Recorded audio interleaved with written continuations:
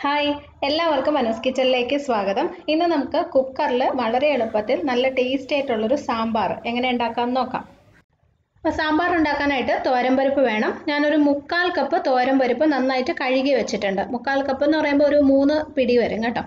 അപ്പോൾ ഇത് കുതിർക്കേണ്ട ആവശ്യമില്ല അല്ലാതെ തന്നെ കുക്കറിലിട്ടാൽ വെന്ത് കിട്ടും. അപ്പോൾ ഒരു അഞ്ച് ലിറ്ററിന്റെ കുക്കറാണ് എടുത്തിരിക്കുന്നത്. ഇതിനകത്ത് തന്നെയാണ് നമ്മൾ സാമ്പാർ ഉണ്ടാക്കുന്നത്. അപ്പോൾ അത് ഈ പരിപ്പ് കുക്കറിലോട്ട് ഇട്ട് കൊടുക്കാം.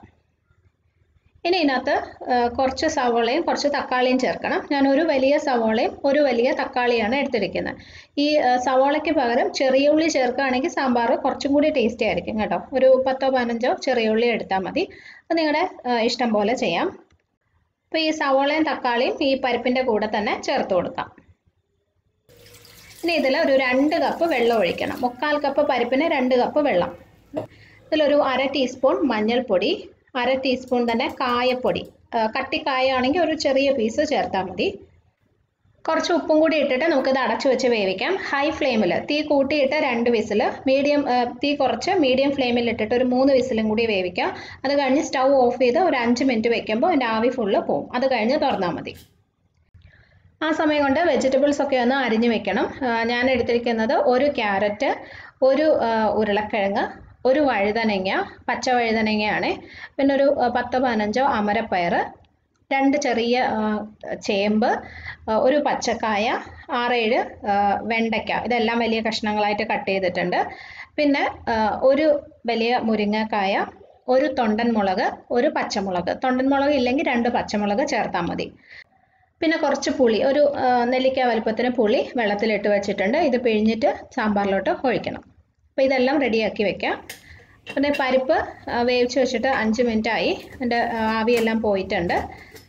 അപ്പോൾ ഇത് നല്ലതായിട്ട് വെന്തിട്ടുണ്ട് കണ്ടോ? ഇതുപോലെ പരിപ്പ് നന്നായിട്ട് വേവണം. ഇനി ഇതിനകത്തോട്ട് നമ്മൾ ഈ അരിഞ്ഞു വെച്ച പച്ചക്കറികളെല്ലാം ചേർത്ത് കൊടുക്കാം. എല്ലാം ഒരുമിച്ച് തന്നെ ഇടാം കേട്ടോ. ആ മുരിങ്ങക്ക പച്ചമുളക് എല്ലാം ചേർക്കുവാണ്. ഇനി ഇതിൽ നമ്മൾ എടുത്തു വെച്ച പുളി ഒഴിക്കാം. ആവശ്യത്തിന് വെള്ളം. പച്ചക്കറികളുടെ കറക്റ്റ് മുകളിൽ നിൽക്കുന്ന രീതിയിൽ വെള്ളം ഒഴിച്ചാൽ മതി. കൂടി പോകണ്ട അപ്പോൾ സാമ്പാർ ഒരുപാട് ലൂസായി പോകും കുറച്ച് നല്ല കുറുകിയിരിക്കുന്ന സാമ്പാറാണ്. സദ്യക്കൊക്കെ വിളമ്പുമ്പം സാമ്പാർ നല്ല കുറുകിയിരിക്കണം ഇനി കുറച്ചും കൂടി പൊടികൾ ചേർക്കണം. ഒരു കാൽ ടീസ്പൂൺ മഞ്ഞൾപ്പൊടി ഒരു ടീസ്പൂൺ മുളക് പൊടി ഒരു ടീസ്പൂൺ മല്ലിപ്പൊടി രണ്ടര ടേബിൾ സ്പൂൺ സാമ്പാർ പൊടി. വീട്ടിലുണ്ടാക്കിയതോ വാങ്ങിച്ചതോ ഏതായാലും കുഴപ്പമില്ല. ഇതെല്ലാം കൂടി നന്നായിട്ടൊന്ന് മിക്സ് ചെയ്ത് കൊടുക്കാം. ഇതിൽ ഒരു ടീസ്പൂൺ കായപ്പൊടിയും കൂടി ചേർക്കാം. കട്ടിക്കായ ആണെങ്കിൽ ഒരു വലിയ പീസ് കായവും കൂടി ഇട്ട് കൊടുക്കണം. ഇനി ഇതിൽ ആവശ്യത്തിന് ഉപ്പിടാം. ഒന്നും കൂടി മിക്സ് ചെയ്ത് കുറച്ച് കറിവേപ്പിലയും കൂടി ഇട്ടിട്ട് അടച്ചു വെച്ച് വീണ്ടും കുക്കർ അടച്ച് വേവിക്കാം. ഹൈ ഫ്ലെയിമിൽ അതായത് തീ കൂട്ടിയിട്ട് രണ്ട് വിസിൽ വേവിച്ചാൽ മതി.